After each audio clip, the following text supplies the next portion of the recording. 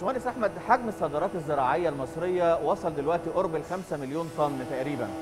فبالتالي آه، آه، الصادرات الزراعية محتاجة هذه العبوات علشان نصدر فيها. فبالتالي انتاجنا هنا في مرغم أو إنتاج المواد البلاستيكية بقى عليه طلب أكتر من الأول.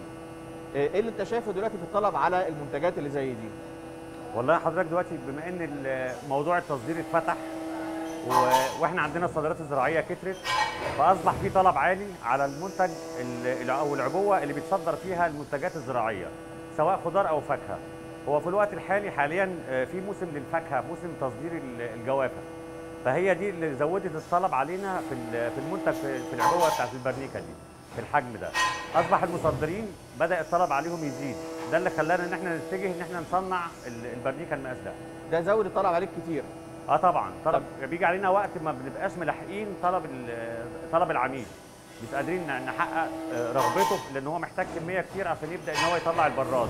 فإحنا الكمية اللي بتبقى متاحة أو اللي بتنتجها المكنة ما تقدرش توفي طلبه كل يوم. طب ساعتها تعمل إيه بقى؟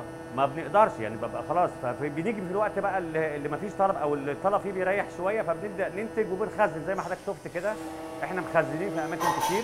علشان لما يتفتح الطلب أو لما بدأ يتفتح الطلب تاني يبقى إحنا عندنا منتج كفاية يكفي رغبة العميل.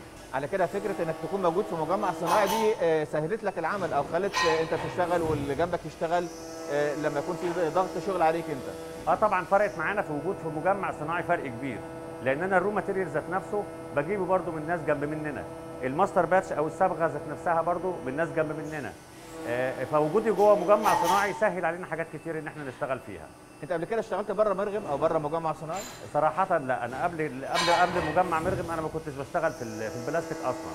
أنا كنت شغال في شغل ال- الاستيراد من الخارج بس لما الدولة بدأت تتجه للتصنيع حبيت أتوجه مع الدولة في اتجاه التصنيع. إحنا عندنا منتجين بنشتغل فيهم. طب بما إنك جديد على الصناعة ليه رحت للبلاستيك تحديدا؟ لأن البلاستيك ذات نفسه كمادة خام استهوتني لأنها بتقبل التشكيل لأشكال كتير قوي يعني ممكن تصنعها بكذا بكذا شكل حسب نوع الماكينة اللي حضرتك شغال عليها. يعني إحنا عندنا بنصنع برضو خراطيم الكهرباء. دي علشان ال- ال- المشاريع بتاعت الدولة في الإعمار والكلام ده كله.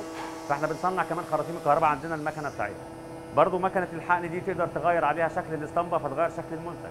يعني إحنا عندنا المقاس ده ده مقاس بتاع صنف معين. في عندنا مقاسات تانية باسطمبات تانية.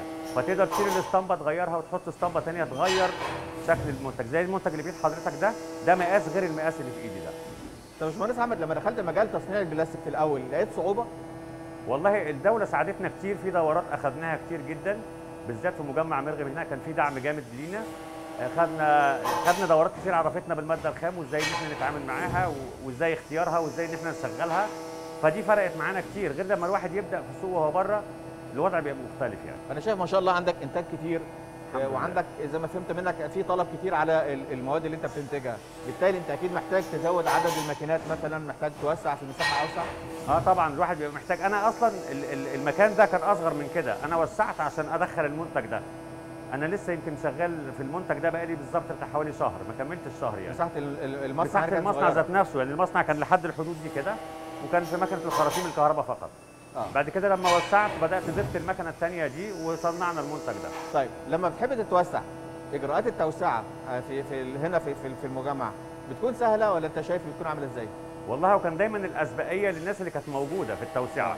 بس أعتقد هو في الوقت الحالي خلاص لأن كلنا خدنا في المرحله الثانية وسعنا معظم الناس اللي كانت موجودة واشتغلت وحبت تطور نشاط بدأت إن هي وسعت في المنتج في ال- في التصنيع بتاعها. وسعت في المصنع بتاعها اللي خد 100 متر اللي كانت في ظهره واللي كان جنبه حاجة 200 متر كده. فالناس بدات وسعت في المكان. ففي الوقت الحالي المكان خلاص كده بقى كومبليت يعني. اتملى لو كنت بادئ مجال الصناعة من الأول خالص كنت تفضل تكون موجود في مجمع صناعي ولا تشتغل في ورشة أو مصنع لا خارجي لا مستقل؟ مليون في المية جوه مجمع صناعي بيبقى في فرق كتير جدا حضرتك. يعني يعني حتة حراسة أمن نظافة آه، رعاية من الدولة آه، في حاجات كتير قوي بتفرق. استخراج التراخيص استخراج الرخصة الصناعية والسجل الصناعي الحاجات دي بتفرق كتير جدا. جوه مجمع صناعي أو خارج مجمع صناعي. طيب لما توسع إن شاء الله تاني هت- هتشتغل على منتجات مختلفة ولا على نفس المنتجات؟ أكيد هطور نفسي وأزود منتجاتي يعني لأن السوق بيطلب منتجات أكتر. إحنا حاليا بنصنع كذا منتج يعني بنصنع هنا المنتج ده وعندنا المصنع بتاع الباشمهندس علاء برضو جنبنا بنصنع فيه منتجات تانية باحجام تانية مختلفة للسوق المحلي لأن دي خاصة بسوق التصدير. فكرة إنكم كمنتجين تكملوا بعض. آه طبعا في تكامل في تكامل بيننا وبين بعض آه، تكامل يعني طوال ال 24 ساعة يمكن أو طوال طوال الوقت في تكامل. اللي أنا محتاجه من عندي هو يحتاج حاجة من أنا أحتاج حاجة من عنده على حسب ال- حسب الاحتياج فالدنيا بتبقى مغطية بعضيها أو بنساعد بعض. بنساعد بعض. وجودنا جنب بعض عامل لنا تكامل.